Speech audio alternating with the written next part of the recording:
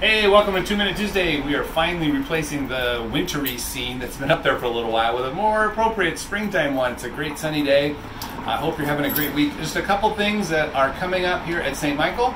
Uh, we are looking right now for volunteers to help with Vacation Bible School. What a great uh, way to enjoy being with some young people and uh, learning about the Word of God, sharing music and song. Please, if you would like to be involved with that, we really need uh, you to, to get a hold of the office. Uh, we're looking for adult volunteers, uh, young people to help in, in all kinds of ways. Uh, also coming up that you can sign up for is Luther Night at Werner Park. There's a ball game uh, scheduled on the 4th of June, and uh, it's a great uh, price. I think $11 a ticket. you can go enjoy the ball game with a bunch of Lutherans. What a great time that will be.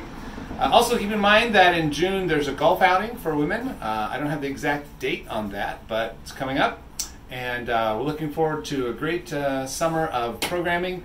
Uh, confirmation camp, a high school youth trip is happening, and very soon, very soon, uh, June 1st, and also the following weekend, we will be welcoming our new youth and young adult intern, Coco Lyons. So, uh, invite all of you to uh, be on the lookout for Coco, say hello to her, and welcome her to St. Michael.